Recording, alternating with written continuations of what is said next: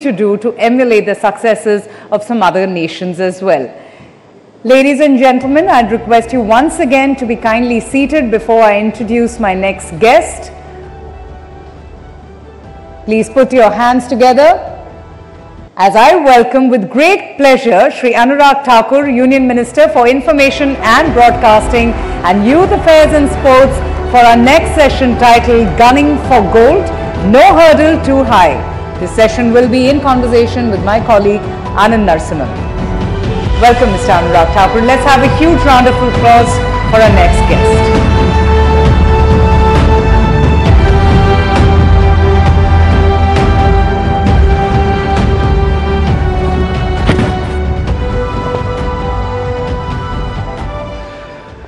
नमस्ते जय हिंद अनुराग ठाकुर जी के लिए जरा जोरदार तालियाँ हो जाएँ प्लीज़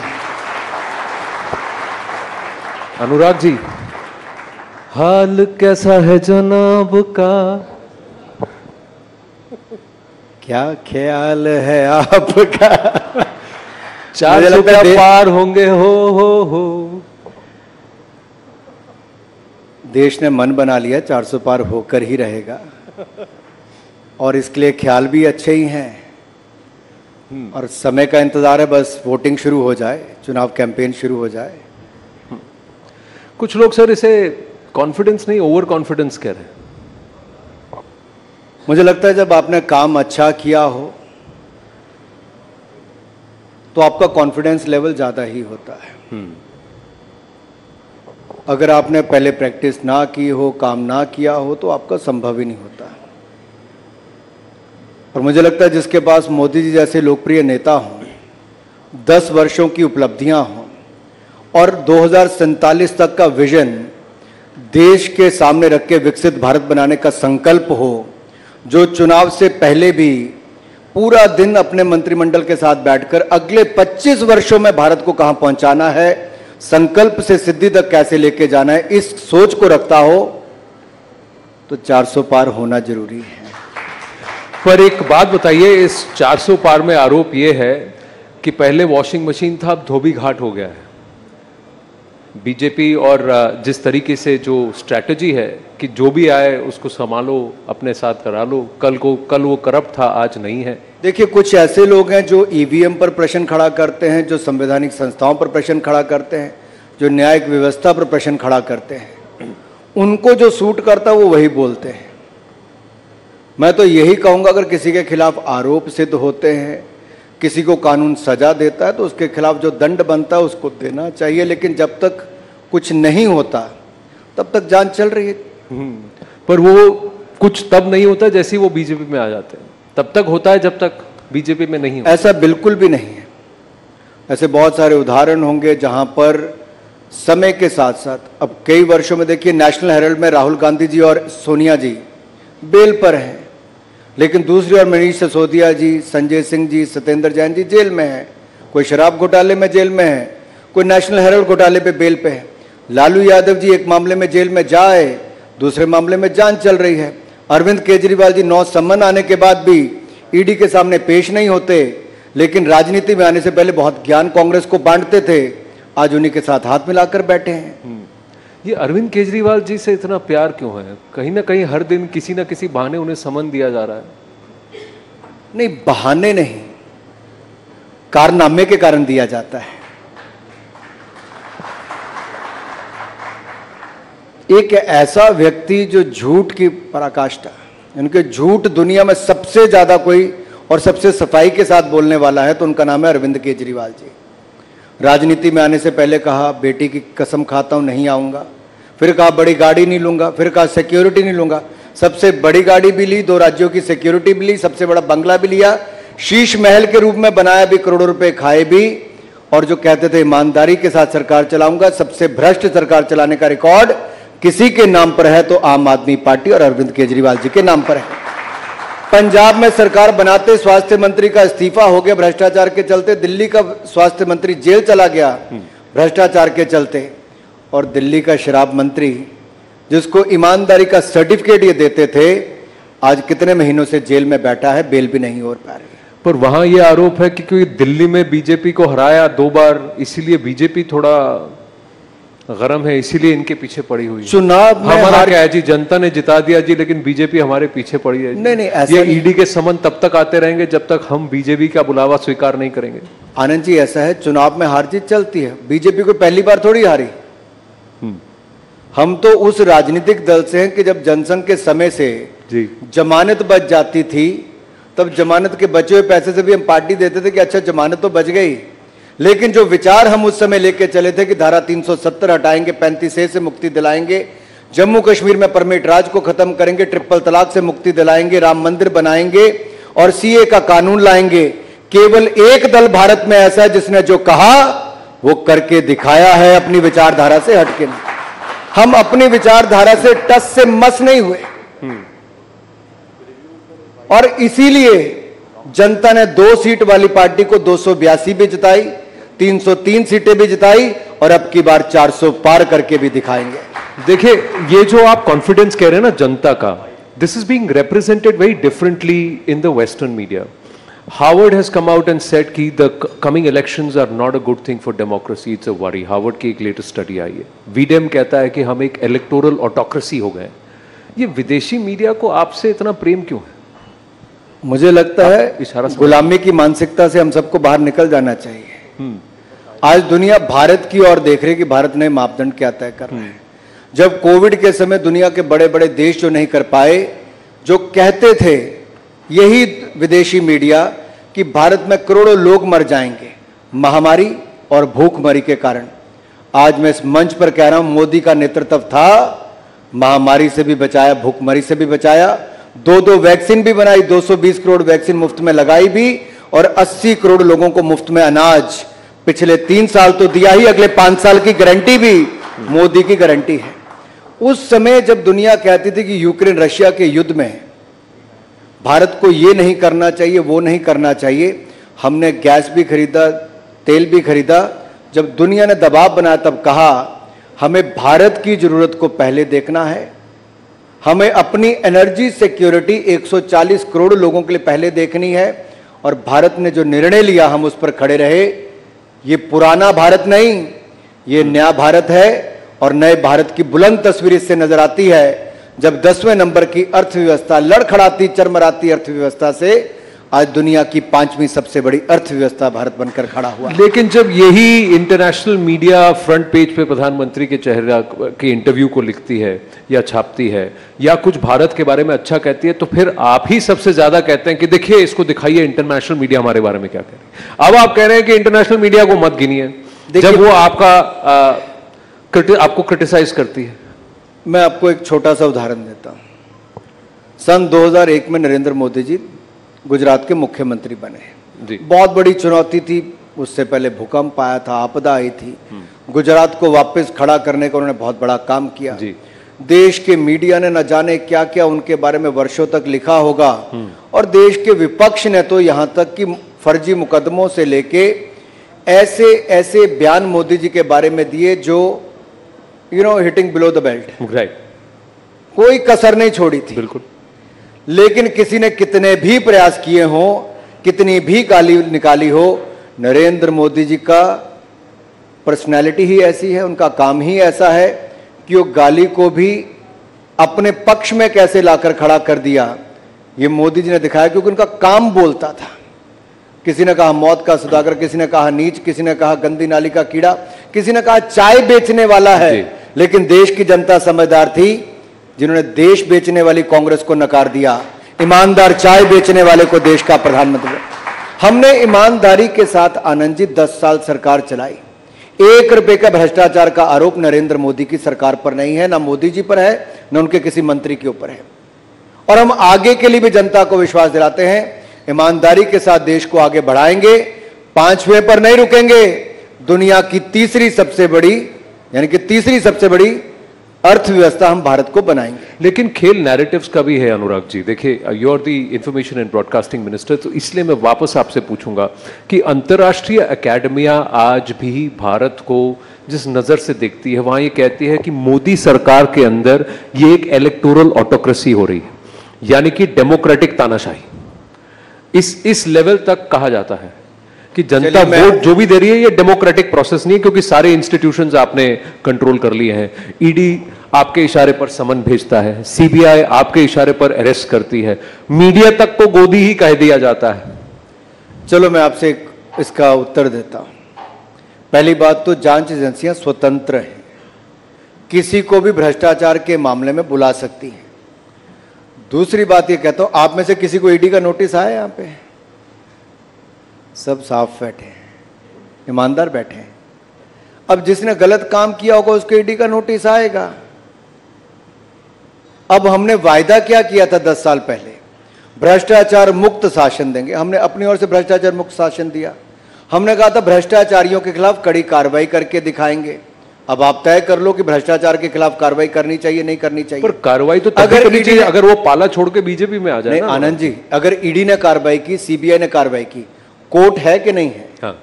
न्यायालय में जब वो जाते हैं क्या उनको बेल मिल गई? अगर राहुल गांधी जी सोनिया गांधी जी को बेल मिल जाती तो वो ठीक है। अगर मनीष सिसोदिया संजय सिंह या सत्येंद्र जैन को बेल नहीं मिलती तो गलत है। चित भी मेरी पट भी मेरी ऐसा कैसे चलेगा? नहीं उनको बेल मिल रही है यहाँ आपको बेल नहीं मिल रही। तो पूछ रहे हैं कि वही वहाँ मिल रही है यहाँ क्यों नहीं मिल रही? इतनी किसको नहीं मिल रही? आम आदमी पार्टी को उनके नेताओं को। भाई भ्रष्टाचार किया सबूत है वहाँ पे सारे आरोप हैं। अब ये तो मैं और आप किसी चैनल पे बैठ के तय नहीं कर सकते किसको बेल देनी किसको नहीं देनी। ये न्यायिक प्रक्रिया है। मुझे तो अपने देश के कानून पे विश्वास है। न्यायालय पे विश्वास है न्यायपालिका पे विश्वास है। नहीं ये जो प्रोसेसेस को कंट्रोल करने की बात है हिमाचल में जो हलचल हिमाचल में जो हलचल हुई अब आप देख रहे हैं पंद्रह महीने में वहाँ सरकार डगमगा रही है। वहाँ भी कहीं ना कहीं दोष बीजेपी को दिया जा रहा है कि भाई हमें नहीं चुना तो तुम्हारी सरकार भी नहीं चलने देंगे। घर आपसे ना संभल पाए, आरोप पर हम पे लगाए। पिछले नौ महीनों से उनके विधायक एक के बाद दूसरा आरोप लगाता था कि मुख्यमंत्री सुनता नहीं है। जो वायदे किए वो पूरे होते नहीं हैं। उनके काम अपनी सरकार में होते नहीं थे। सरकार में अहंकार घमंड पूरा भरा हुआ था। और ये सरकार बनने के पहले दिन मुख्यमंत्री ने कहा कि हमने सतानवे प्रतिशत हिंदू जहाँ रहते हैं, हिंदुओं को हराकर ये सरकार बनाई है। ये घमंड और अहंकार था। फिर जो वायदे किए थे कि पंद्रह सौ रुपये नारी शक्ति को देंगे, वो पंद्रह सौ रुपया महीना नहीं दिया, पंद्रह महीने बीत गए। वो चौबीस लाख महिलाएँ प्रदेश की पूछती कि पंद्रह सौ रुपया महीना कहाँ है? पाँच लाख युवाओं को कहा था, सरकारी नौकरी देंगे, नहीं दी। वो पूछते हैं, सरकारी नौकरी कहाँ है? इन्होंने कहा था, दो रुपये किलो गोबर, सौ रुपये लीटर दूध खरीदेंगे, नहीं दिया। 600 करोड़ रुपया स्टार्टअप फंड के लिए देना था, नहीं दिया। इन्होंने कहा था, बागवानों को उचित दाम देंगे, मुँह मांगे दाम देंगे, नहीं दिए। यहाँ तक कि सेब और फल और उनको नदी और नालों में बहाने की नौबत आ गई। अब ये सरकार का दुखड़ा और रोना, ये दुख भरी दास्तान, मैं आपको क्या सुनाऊं? ये सुख की सरकार नहीं, ये दुख भरी दास्तान थी इनकी। पर आपने कहा कि कांग्रेस ने कोई बातें पूरे नहीं किए, लेकिन जनता ने वोट तो कांग्रेस को दिया, बीजेपी को नहीं दिया था। छह विधायक गए हैं। ऐसा तो नहीं कि पूरी की पूरी सरकार वहाँ पर रिवोल्ट हो गई। कहा यह जा रहा है कि बीजेपी जहाँ पर भी स्थिर नहीं है या आउट हो जा रही है, आज की तारीख में वो ऐसा कर रही है कि वहाँ की लोकल सरकारों को अस्थिर कर रही है। ये आरोप सही है कि गलत है? देखिए, बिल्कुल भी नहीं, बिल्कुल भी नहीं। आखिरकार हमने क्या कहा? हमने तो कुछ नहीं कहा। अगर सरकार में इतना दम होता उनको लगता कि उनके पास मेजॉरिटी है तो क्यों नहीं वोट करवाया? क्यों आनंद फानंद में फाइनेंस बिल पास करवा दिया? क्यों हाउस एडजॉन कर दिया? क्यों नहीं वोटिंग तक लेकर गए?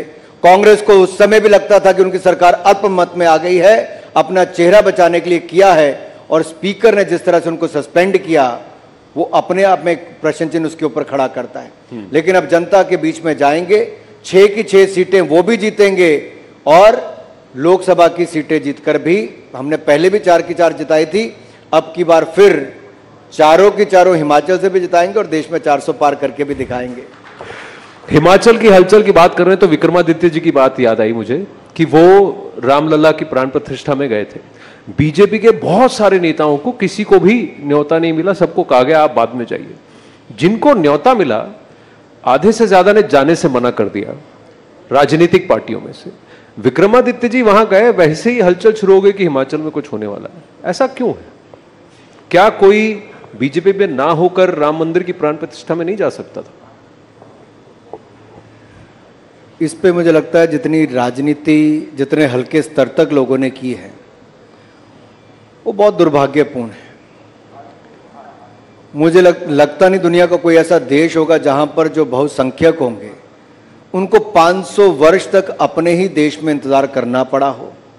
रामलला की जन्मभूमि पे भव्य राम मंदिर के निर्माण के लिए डेढ़ सौ साल तक मुकदमा लड़ना पड़ा हो। लेकिन हमने इंतज़ार भी किया मुकदमे भी लड़े और जो कहा था वो करके भी दिखाया। रामलला की जन्मभूमि पे भव्य राम मंदिर बनाकर भी दिखाया है। प्राण प्रतिष्ठा भी करवाई। हमने निमंत्रण सबको दिया बहुत सारे लोग चुनावी राजनीति के चक्कर में नहीं आना चाहते थे। बहुत लोगों ने मुँह फेर लिया लेकिन कुछ लोग आए मैं स्वागत करता हूँ अगर वो आए हैं। मुझे लगता है इसको राजनीतिक रूप से नहीं देखना चाहिए इसको आस्था के रूप पर राजनीतिक रूप से ही देखा जा रहा है। बीजेपी पर आरोप है कि पहले राम की राजनीति की सरकार बनाया बहुमत बना पार्टी ग्रो हुई अब मंदिर बन गया तो मंदिर की भी राजनीति कर रहे हैं। नहीं, हमारे लिए मंदिर की राजनीति करने की आवश्यकता नहीं। हमने हर बार अपने संकल्प पत्र में लिखा कि 370 भी हटाएँगे 35 से भी, ट्रिपल तलाक भी कहा, भव्य राम मंदिर के निर्माण की बात भी हमने कही।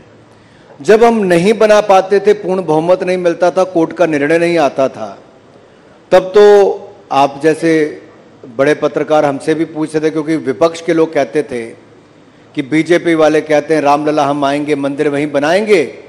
लेकिन तारीख नहीं बताएँगे। तो तब तो आप तारीख पूछते थे। अब हमने तारीख भी दे दी निमंत्रण भी दे दिया तब क्या हुआ? हम्म। तब कहा गया कि बीजेपी से पॉलिटिसाइज कर रही है। इसको पॉलिटिकल इवेंट बना दिया है। हमने केवल एक मंदिर नहीं भव्य और दिव्य सोमनाथ धाम भी बनाया भव्य और दिव्य केदारनाथ धाम भी बनाया भव्य और दिव्य काशी विश्वनाथ धाम भी और भव्य और दिव्य महाकाल लोक भी और अब भव्य और दिव्य अयोध्या धाम में भव्य राम मंदिर का निर्माण भी करवाया है। ये आस्था के आस्था के केंद्र है। ये आस्था के केंद्र है लेकिन अब आधारभूत ढांचा इंफ्रास्ट्रक्चर यहाँ पे अच्छा बनाने के बाद यहाँ पे अर्थव्यवस्था के केंद्र भी बने। रोज़गार स्वरोजगार के अवसर मिले। तो मुझे लगता है अगर आप बौद्ध सर्किट देखोगे बुद्ध सर्किट को देखोगे करतारपुर कॉरिडोर को देखोगे हेमकुंड साहब तक रोपवे को देखोगे ये सब किसने किए? मोदी जी ने किए। आज़ादी के समय पंडित नेहरू जी ने निर्णय नहीं कर पाए। करतारपुर कॉरिडोर नहीं था उस समय करतारपुर। अब पंजाब में से दूरबीन लगा के हमारे सिख भाई गुरुद्वारा साहब के दर्शन वहाँ पे करते थे। ये मोदी सरकार को सत्तर साल के बाद निर्णय लेना पड़ा तब जाके करतारपुर कॉरिडोर बना। हेमकुंड साहब का कभी जाके देखिए। हमारे भाई यहाँ पर बैठे हैं सर पूछिए कितनी कठिन यात्रा है वहाँ के लिए। हम्म। लेकिन रोपवे से उसको आसान बना दिया गया। हम्म। इसी तरह से बाकी जगह के लिए भी जब इंफ्रास्ट्रक्चर आपका बन रहा है फ़र्क कहाँ पड़ता आनंद जी केवल आप, देखिए आज मंदिर मंदिर की बात करते हैं। मंदिर बनाया, लेकिन आप ये मुझसे क्यों नहीं पूछते कि अच्छा पहले एयरपोर्ट कितने थे? आज एयरपोर्ट कितने? पहले मेडिकल कॉलेज कितने थे? लेकिन मैं आपके सामने देश को बताना चाहता हूँ। सिर्फ़ चौहत्तर एयरपोर्ट थे 2014 में। आज डेढ़ सौ एयरपोर्ट हैं। केवल तीन सौ चौरासी, केवल तीन सौ चौरासी मेडिकल कॉलेज थे। आज 710 मेडिकल कॉलेज हैं। केवल 500 यूनिवर्सिटीज थी, आज 1100 यूनिवर्सिटीज है। केवल 16 आईएम आईआईटी थे, आज 23 आईआईटी थे। कल 12 आईएम थे, आज 19 आईएम हैं। हमारे यहाँ पर केवल पाँच शहर मेट्रो से जुड़े थे, आज 20 शहर मेट्रो से जुड़े हैं। पहले छियानवे हज़ार किलोमीटर नेशनल हाईवे थे, आज डेढ़ लाख किलोमीटर नेशनल हाईवे हैं। पहले तीन लाख बीस हज़ार किलोमीटर ग्रामीण सड़कें थी, आज छह लाख पचहत्तर हज़ार किलोमीटर ग्रामीण सड़कें हैं, जो कांग्रेस साठ साल में नहीं कर पाई, हमने दस साल में करने का काम किया है। आप पूछिए ना मुझसे विकास की बात। इनके समय 10 साल में दसवें नंबर पे अर्थव्यवस्था खड़ी रही, हम पाँचवें नंबर पे लाए हैं। इनका कालखंड पूरा 2G घोटाला, कॉमनवेल्थ गेल घोटाला, अंतरिक्ष घोटाला, अगस्ता वेस्टलैंड घोटाला, कोयला घोटाला, घोटाले पे घोटाला था। अब हमने घोटालों की जाँच की शुरू की तो आप मुझसे जाँच से बाहर नहीं आ रहे हैं। यह फ़र्क है दो सरकारों का। इनके समय कोई बड़ा आयोजन नहीं होता था। कोई बड़ा अलायंस नहीं होता था। Today I can say Modi is a man of alliances international solar alliance की बात करें ग्लोबल बायोफ्यूल अलायंस की बात करें, हमारे इंटरनेशनल बिग कैट अलायंस की बात करें, योग और आयुर्वेद को जो दुनिया के स्तर पे लेकर गए, वैश्विक पहचान दिलाई, वो कौन आज से पहले कर पाया था? कोई नहीं। हमने जी ट्वेंटी की अध्यक्षता की, हो सकता था दिल्ली में ही करते देश के 60 शहरों के 200 स्थानों में की भारत की कला संस्कृति अपनी परंपराओं को दिखाने का काम दुनिया को किसी ने किया है तो नरेंद्र मोदी ने किया है। वो खड़े हो सकते थे बैकड्रॉप पे कुछ भी हो सकता था। लेकिन नालंदा यूनिवर्सिटी के साथ हमारे हज़ारों वर्ष के इतिहास को दिखाने का काम किया। व्हील्स टेंपल का दिखाकर जी। हमारे हज़ारों साल की संस्कृति को दिखाने का काम किया। जिस टेबल पे हम बैठे थे जिस पे मैं बैठा था वो तो बालाघाट लिखा था। अब आधों को पता नहीं होगा बालाघाट है कहाँ पे? लेकिन मध्य प्रदेश और महाराष्ट्र के बॉर्डर पे जहाँ पे नक्सलवादी इलाका है उसको भी वहाँ पे रखा लेकिन उसकी और क्या विशेषताएँ? ये नरेंद्र मोदी जी जिस तक जहाँ तक सोचते हैं जो आपका मीडिया का सेंटर बना था कोई हिमालयन रेंज को दिखाया था अलग अलग पर्वत थे अलग अलग नदियों के नाम पे रखा था कौन सोचता था ऐसे? कोई नहीं। ये व्यक्ति बिल्कुल अलग सोचते हैं नेतृत्व ऐसा है जो देश की कला संस्कृति परंपराएँ इनको भी तो बचाते ही हैं। लेकिन आधुनिक युग में टेक्नोलॉजी का उपयोग होकर ट्रांसपेरेंसी अकाउंटेबिलिटी कैसे आ सकती है ये पारदर्शिता हमारी सरकार में जवाबदेही देखी गई। जब हमने जनधन आधार मोबाइल को लाए डीबीटी करके दिखाया तो आज 43 करोड़ बैंक खाते भी खोले तो उसमें सीधा पैसा भी भेजते हैं। अगर 34 करोड़ मुद्रा लोन मिले 27 लाख करोड़ रुपया बगैर गारंटी के गरीब व्यक्ति को मिला तो वहीं पे 80 लाख स्वनिधि योजना का ऋण हमारे रेडी फड़ी वालों को मिला जो लाखों करोड़ रुपया। क्यों मिला? इसलिए मिला कि अपना रोज़गार स्वरोजगार खड़ा कर सके। आज वो अर्थव्यवस्था को एक अपना योगदान दे पाते हैं। वन डिस्ट्रिक्ट वन प्रोडक्ट कहने के लिए आपके लिए एक योजना होगी। लेकिन वोकल फॉर लोकल पर जब मोदी जी ने पिछले हमारे फेस्टिवल सीज़न में कहा कि लोकल को खरीदिए। चार लाख करोड़ रुपए की सेल हुई। ये आप कल्पना भी नहीं पहले कर सकते थे। आज देश का प्रधानमंत्री कहता है तो लोग उस दिशा में काम करते हैं। ये बदलाव है आज देश में। लेकिन अगर आप ये सब कह रहे हैं तो कहा जा रहा है कि एक शक्ति है इसको नष्ट करना है। ये शक्ति कौन है? अब शक्ति की बात आई है तो हम तो हर नारी में शक्ति देखते हैं। हर महिला में, हर बेटी में, हर बहन में शक्ति देखते हैं। और मैं ये कहना चाहता हूँ, सनातन की भक्ति ही शक्ति में है। लेकिन कुछ लोग हैं जो सनातन को कुचलना चाहते हैं, कुछ लोग हैं वो शक्ति से लड़ना चाहते हैं। लोग तो शक्ति की पूजा करते हैं लड़ने के लिए, लेकिन कुछ लोग शक्ति के खिलाफ भी लड़ना चाहते हैं। ये कुछ लोगों का मानसिक दिवालियापन हो सकता है, लेकिन इनकी सोच जैसी भी हो सनातन को कुचलने की हो, हिंदू को खत्म करने की हो, शक्ति के साथ भिड़ने की हो, ना सनातन को कुचल पाया है, ना कोई सनातन को कुचल पाएगा, ना शक्ति को कोई दबा पाया है, ना शक्ति को कोई दबा पाएगा। पर अगर इसे ऐसा देखा जाए कि एक शक्ति है जो सनातन का प्रयोग कर कर और ज़्यादा शक्ति बन ताकतवर बनने की कोशिश कर रही है, शक्तिमान होने की कोशिश कर रही है, ये वो शक्ति है जो मनुवाद की प्रचारक है। ये वो शक्ति है जो इस देश के अंदर एक ऐसा माहौल बनाना चाहती है कि मेरी ही चलेगी और किसी की नहीं चलेगी। ये आरोप है। या देवी सर्वभूतेषु शक्ति रूपेण संस्थिता नमस्त से नमस्त से नमस्त से नमो नमः। अब इसमें तो शक्ति के रूप में मैंने पहले भी कहा, सनातनी के लिए तो शक्ति में ही भक्ति भक्ति हमारी जो है वो शक्ति के रूप में ही करते। अब कुछ लोग हैं जो इस सोच के साथ चले अब उनके बारे में मैं कितनी टिप्पणी करूँगा। पहले उनके कुछ गुर्गे थे। जी।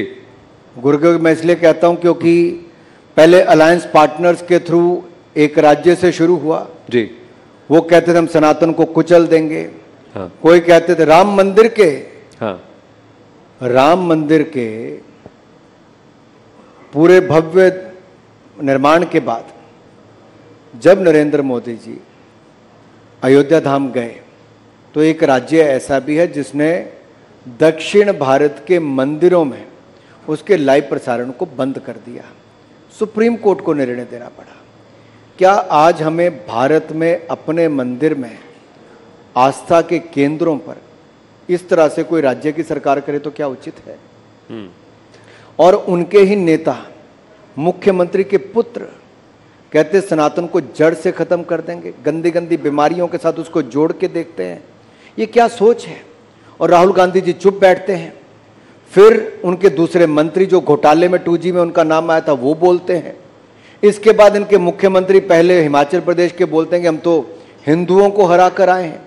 फिर संदेश खली में शक्ति को कुचलने का, अपमानित करने का काम एक महिला मुख्यमंत्री के नाक तले होता है और संरक्षण उस नेता को देती है जो उसके पार्टी से सीधा जुड़ा है।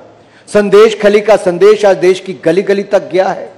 लेकिन संदेश ये गया है कि एक महिला मुख्यमंत्री भी महिलाओं को सुरक्षित नहीं रख पाई।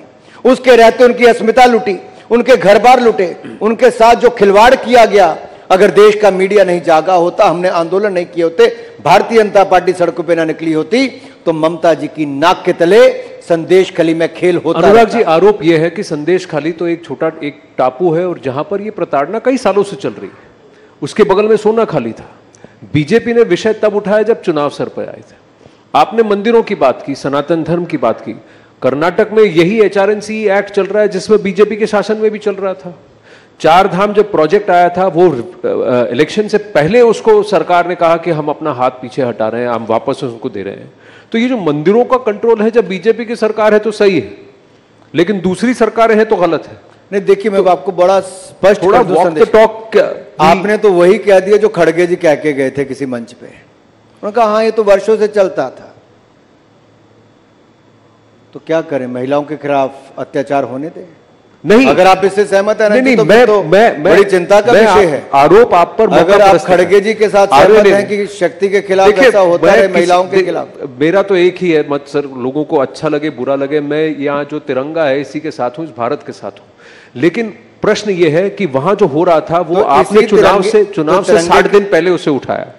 जब बीजेपी की सरकार कर्नाटक में थी तब कर्नाटक के मंदिरों पर से फिर से वही वसूली वही टैक्स होती थी जिसको कि आज बीजेपी विपक्ष में रहकर जजिया कह रही है। मैं आपको बहुत क्लियर करके कह रहा हूँ पहले तो संदेश खली पे आता हूँ जहाँ पे आपने महिला शक्ति की बात की। देखिए अंतर क्या है? एक तरफ़ वो सरकार है जो महिलाओं के खिलाफ अत्याचार होता आँखें मूंद करके बैठी है। दूसरी ओर हमारी सरकार नरेंद्र मोदी जी की सरकार है जो नारी शक्ति बंधन बिल लाके तैतीस प्रतिशत आरक्षण विधानसभा से लेकर लोकसभा तक सुनिश्चित करती है। बाकी लोग लॉलीपॉप दे रहे थे नरेंद्र मोदी जी ने 33 परसेंट आरक्षण देने का काम किया है। लेकिन हमने लटकाया बीजेपी ने अभी तक नहीं दी हम, हमने लटकाया में। क्या क्या? तैतीस प्रतिशत महिलाओं को टिकटें बीजेपी ने लोकसभा के अभी तक पूरा टिकट डिस्ट्रीब्यूशन हुआ कहाँ है? हम्म। लटकाना भटकाना अटकाना ये कांग्रेस का काम था। हम्म। हमारा पहला राजनीतिक दल है जिसने अपनी सर अपनी पार्टी में आरक्षण दिया है महिलाओं को ऑफ़िस बेरर में भी और पूरी बॉडी में भी। भारतीय जनता पार्टी ने दिया। हमारे पार्लियामेंट्री बोर्ड में भी महिला मोर्चा की अध्यक्ष उसका सदस्य रहती है। सेंट्रल इलेक्शन कमेटी में भी उसका सदस्य रहती है। हम्म। इसके साथ साथ अगर मोदी सरकार में अगर आप मंत्रिमंडल में देखेंगे जहाँ ओबीसी की रिकॉर्ड रिप्रेजेंटेशन है वहीं महिलाओं की भी रिकॉर्ड रिप्रेजेंटेशन है। अब मैं वापस आता हूँ कि मोदी सरकार ने महिलाओं के लिए क्या किया। सबसे बड़ी बात है महिला की दिनचर्या में पहला क्या काम? शौचालय नहीं था, गैस सिलेंडर नहीं था, पानी नहीं था, दवाई नहीं थी, अनाज की कमी थी। अब 10 साल में क्या हुआ? 10 साल में 12 करोड़ शौचालय बनाकर दिए हैं 13 करोड़ घरों को नल से जल दिया है 10 करोड़ बहनों को रसोई गैस का सिलेंडर और चूल्हा मुफ़्त में दिया, पाँच लाख की दवाई मुफ़्त में दिलाई और अनाज की कमी को भी पूरा किया जब अनाज मुफ़्त में देने की गारंटी पहले भी दी और अगले पाँच साल की गारंटी भी दे दी। अब उस महिला के जीवन में शौचालय जाने से लेके पानी भरने को भी छोड़ के अब अपने घर पे पानी आता है गैस सिलेंडर वहीं पे ही है पक्का मकान भी वहाँ पे दे दिया है। ये पहले नहीं आना था आनंद जी हम्म। महिला को स्वाभिमान के साथ जीना उसको मान सम्मान देना ये नरेंद्र मोदी की सरकार ने किया है। आम महिला को करोड़ों महिलाओं को तो वहीं पर उनको राजनीति में भी देना आरक्षण वो भी किया। रिपब्लिक डे परेड को आप में से कितने लोगों ने पिछली बार देखा होगा? आप last two Republic Day parade देखिए। पिछले साल की जब थी तब इजिप्ट के राष्ट्रपति आए तो उन्होंने प्रेसिडेंट सीसी ने कहा प्रधानमंत्री को कि आपके कर्तव्य पथ को देख के मुझे ऐसा लगता है कि दुनिया तो वुमेन डेवलपमेंट की बात करती है यहाँ वुमेन लेड डेवलपमेंट है महिला नेतृत्व विकास है। और इस बार तो पूरे कर्तव्य पथ पे अगर किसी ने लीड किया है और समर्पित किसी को रिपब्लिक डे परेड थी तो नारी शक्ति को थी। ये मोदी सरकार में ही संभव हो सकता है। अनुराग जी आज दुनिया में अगर एक हज़ार एयरक्राफ्ट का हमने ऑर्डर दिया है तो केवल एयरक्राफ्ट के ऑर्डर को मत देखिए। दुनिया में सबसे ज़्यादा वुमेन पायलट्स किसी देश में है तो भारत में है। ये भारत में ही संभव है। मैं ये भी कह रहा हूँ कि रिपब्लिक डे पर जो आप जो किया गया सराहनीय है लेकिन इसे ऑप्टिक्स कहा जा रहा है। कहा यह जा रहा है कि आप ऑपरचून मोमेंट पे इसको करके, इसको पैकेजिंग फैंटेस्टिक कर रहे हैं। ग्राउंड पर रियलिटी कुछ और है। यही आरोप है। आरोप यह है कि इंफॉर्मेशन बहुत कुछ है बट कई सारा जो है ड्रेस्ड अप है मिस इन्फॉर्मेशन देखिए, आंकड़ों तो आंकड़ों को ना आप झुटला सकते, ना मैं। अब कांग्रेस वो है जो 60 साल तक कहते रही, गरीबी हटाओ गरीबी हटाओ गरीबी हटाओ। गरीब मिट गया, लेकिन गरीबी नहीं हटी थी। लेकिन मोदी सरकार के 10 साल में मल्टी डायमेंशनल प्रॉपर्टी में यानी कि अति गरीबी रेखा वालों में से 25 करोड़ गरीबों को गरीबी रेखा से बाहर निकालने का अभूतपूर्व कार्य किसी ने किया तो नरेंद्र मोदी की सरकार ने किया। अगर आप उसको भी झुटलाएँगे अभी ऑक्सफोर्ड यूनिवर्सिटी भी कहती है नीति आयोग भी कहता है बाकी एजेंसीज भी कहती है तो मैं आपको और किस कैसे विश्वास दिलाऊं नहीं पर अगर चार करोड़ पक्के मकान हम बनाकर देते हैं जी। तो ये तो कोई झूठ नहीं है तीन करोड़ बहनों के नाम पर रजिस्ट्री हुई। ये शौचालय आपके साथ बने डीबीटी करके इकतीस हज़ार करोड़ रुपया बहनों के खाते में बीस करोड़ महिलाओं के खाते में मदद के रूप में डाला गया कोविड के समय डाला गया। अब ये आंकड़े नहीं ये तो एंट्रीज हैं। ठीक है आप आप जो कह रहे हो आपकी अब बात आप- अब अब जब जनता मानती कि नहीं जनता को डिसाइड करने दीजिए। आप सीए के नोटिफिकेशन को देखिए। जो एक्ट था CA amendment act 2019 Amit Shah ji आने वाले हैं और ये नोटिफिकेशन और इस एक्ट को लाने का काम भी आपकी सरकार ने किया। श्रेय आपको जाता है। 2020 में एक्ट पास हुआ पार्लियामेंट में श्रेय आपको जाता है। लेकिन इसकी रूल्स की नोटिफिकेशन पाँच साल बाद करीब साढ़े चार साल बाद अभी आई है। तो वो भी चुनाव से ठीक पहले। तो फिर ये प्रश्न तो पूछा ही जाएगा कि भाई आप सब कुछ चुनाव के आसपास ही टाइम कर रहे हैं इसको। आनंद जी 2019 के चुनाव जीतने के बाद पहला पार्लियामेंट का सेशन आया जुलाई अगस्त का, हमने अनुच्छेद 370 35 से आर्टिकल 370 35 ए, इसको हटा दिया, ट्रिपल तलाक पे कानून ले आए सीआई सीए पे ले आए। तो आप लोग तब सवाल पूछते थे, मोदी सरकार को जल्दी क्या है, पाँच साल पड़े हैं, छह महीने में क्यों पूरा कर रहे हो? तब आपका ये सवाल था। फिर आप पिछले पाँच साल पूछते थे सीए लाए क्यों नहीं? अब ले आए और नियम भी ले आए तो अब आप पूछते हो, नियम क्यों ले आए भाई? जो लोग पचास पचास साल से अपनी नागरिकता का इंतज़ार कर रहे हैं जिनकी बहन बेटियों की इज़्ज़त लूटने का काम किया गया होगा, जिनको धर्म बदलने पर मजबूर किया गया होगा, जिनकी चौदह साल की बेटी को उठा के निकाह पढ़ने के लिए मजबूर किया होगा, उसको जब न्याय कोई नहीं दिला पाया तो नरेंद्र मोदी ने यहाँ पर न्याय दिलाने का काम किया है। अरे, हमने तो अपने पाँच साल में किया है। कांग्रेस ने जो पचास साल पहले सिंचाई योजना शुरू की थी, पुल बनाना शुरू किया था, वो भी पूरा नहीं किया, वो भी मोदी सरकार ने पूरा किया है। पुल से लेके सड़कों से लेके बाकी काम हमने पूरे किए। ये तो कानून के नियम थे। अब लागू भी हम ही कर रहे हैं। नागरिकता उनको मिल रही है जिनको अपना देश छोड़ के। गारंटी किसने दी थी? नेहरू जी ने। कि उनको उसी देश में रह के संरक्षण मिलेगा। अल्पसंख्यक हैं। तेईस परसेंट हिंदू थे। आज दो परसेंट रह गए हैं। पाकिस्तान में बांग्लादेश में। क्यों? अफ़गानिस्तान में तालिबान आया। पूछिए क्या हुआ? गुरुद्वारा साहब पर गुरु ग्रंथ साहब पर क्या क्या नहीं मोदी सरकार ने तीन बार प्राइवेट चार्टर जहाजों को भेज के प्राइवेट जहाज़ भेज के प्राइवेट मीन्स की सरकारी जहाज़ भेज के तीन बार गुरु ग्रंथ साहब को भी लाए सैकड़ों सिख परिवारों को भी लाए एक की भी जान नहीं जाने दी। ये जो आप तिरंगा दिल पर यहाँ पे लगा के बैठे ना साहब हम सबके दिलो दिमाग पे तिरंगा है। लेकिन कांग्रेस की सरकार के समय जब मैं तिरंगा यात्रा कलकत्ता से कश्मीर तक लेकर गया इसी आर्टिकल 370 35 ए के खिलाफ मुझे लाल चौक पर तिरंगा झंडा नहीं फहराने दिया गया जेल में डाल दिया गया। आज मेरे से ज़्यादा खुश नसीब कौन होगा जब लाल चौक पर 24 घंटे तिरंगा झंडा लहराता है तिरंगे की रोशनी में लहराता है। हमारी पार्टी की तीन पीढ़ियों ने डॉक्टर श्यामा प्रसाद मुखर्जी ने अपना बलिदान दिया। फिर मुरली मनोहर जोशी जी और मोदी जी उन्नीस सौ बानवे में गए। 2011 में मैं गया। तीन पीढ़ियाँ किसकी पार्टी ने किया होगा? ये केवल हमारी पार्टी है जो उस मुद्दे को लेकर तब तक चली जब तक 370 धारा को खत्म नहीं कर दिया गया। तिरंगे की बात मैं यहाँ तक करना चाहता हूँ। विदेश में बैठे लोग आज इसलिए गर्व के साथ तिरंगा उठाते हैं। इंडियन पासपोर्ट को आप लोग बाहर जाके दिखाते हैं, क्योंकि ऑपरेशन गंगा की सफलता, सत्ताईस हज़ार भारत के विद्यार्थी और नागरिकों को ऑपरेशन गंगा के तहत यूक्रेन की युद्ध भूमि से कोई निकाल कर लाया तो नरेंद्र मोदी जी के कारण संभव हो पाया है। अफ़गानिस्तान से, नेपाल से सीरिया से लीबिया से ये तब संभव हो पाया अलग अलग ऑपरेशन के माध्यम से और कोविड के टाइम पे तो लाखों भारतीयों को स्वदेश सुरक्षित वापस लाए।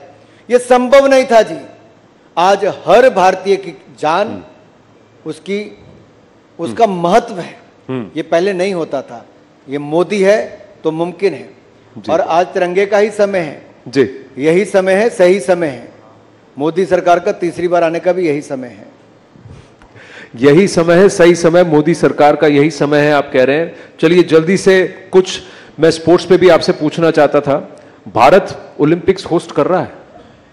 देखिए पहला तो मेरा गिला आपसे है कि स्पोर्ट्स को जो प्राथमिकता समाज ने अब पहले से ज़्यादा दी लेकिन आपके सेशन में सबसे एंड में फिर लाए हम सबको स्पोर्ट्स को सबसे आगे रख के चलना है। इट्स अ सॉफ्ट पावर जी। और देखिए हमने टोक्यो ओलंपिक्स में पैरालंपिक्स में डेफ ओलंपिक्स में आज तक के सबसे ज़्यादा मेडल जीते वर्ल्ड यूनिवर्सिटी गेम्स में हमने सबसे ज़्यादा मेडल आज तक के जीते। और जब हम भी जब हम- और जब हम एशियन गेम्स में गए तो पिछली बार चौसठ मेडल थे लेकिन इस बार क्रिकेट में तो सेंचुरी हम लगाते ही हैं। एशियन गेम्स में 107 मेडल जीतने का काम भारत ने किया जो आज तक के सबसे ज़्यादा है। लेकिन आपका सवाल मुझे पता है किस दिशा की ओर है। जी हाँ मोदी जी ने बहुत क्लियर कर दिया है। और जब आईओसी का सेशन था तब नरेंद्र मोदी जी ने कहा भारत ओलंपिक्स के आयोजन के लिए तैयार है। 2030 में यूथ ओलंपिक्स 2036 में समर ओलंपिक्स जैसे ही बिड शुरू होगी भारत होस्ट करने के लिए तैयार है। अगर हम दुनिया की तीसरी सबसे बड़ी अर्थव्यवस्था होंगे तो हमारे में दुनिया की सबसे बड़ी युवा शक्ति भी यहाँ पर है।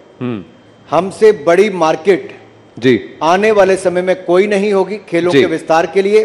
तो जी हाँ 2030 का यूथ ओलंपिक्स 2036 का समर ओलंपिक्स भारत आयोजन करने के लिए तैयार है। तैयार है। चलिए लास्ट लास्ट के लास्ट के सवा मिनट बचे हैं तो जल्दी से मैं कुछ प्रश्न आपसे पूछना चाहता हूँ। ये रैपिड फायर की तरह आप इसे ले लीजिए। अगर आप नेता नहीं होते तो क्या होते? क्रिकेटर क्रिकेटर टेरिटोरियल आर्मी आपने छोड़ दिया पर क्रिकेटर होते। ठीक है। घर में टेरिटोरियल आर्मी में तो अभी भी हूँ। अभी भी I am serving captain in the territorial army correct तो फौजी भी है नेता भी है कॉम्बिनेशन और क्रिकेटर भी है। धर्मशाला में मीडिया का मैच कब करा रहे हैं सर वादा कर रहे हैं? कराए नहीं? मुझसे कहा पूछिए। मेरा बस चले तो मैं तो चुनाव प्रचार के दौरान ही करवा दूँ क्योंकि जब इंग्लैंड की टीम भी आई तो उन्होंने कहा कि दुनिया का सबसे खूबसूरत मैदान कहीं पर है तो धर्मशाला में। आनंद जी इसको मैं एक मिनट और लेके इसलिए आधा मिनट में बोल देता हूँ। पहली बार हुआ होगा कि यूके से लगभग चार हज़ार लोग फ्लाई करके केवल धर्मशाला का मैच देखने आए। ये अपने आप में लोकल इकोनॉमी और खेल के लिए बहुत बड़ी बात एक भूल जो आप सुधारना चाहेंगे। पहले भूल करना ही नहीं चाहूँगा तो सुधारने की तो दूर हिमाचल प्रदेश या हिंदुस्तान? हिमाचल प्रदेश या हिंदुस्तान? यानी कि स्टेट लेवल पॉलिटिक्स या नेशनल लेवल पॉलिटिक्स दिल में है हिंदुस्तान लेकिन ज़मीन है हिमाचल में तो ज़मीन बचा के रखनी और देश के लिए काम करना हिंदुस्तान के ladies and gentleman Anurag Thakur. Big round of applause for him, please. Thank you.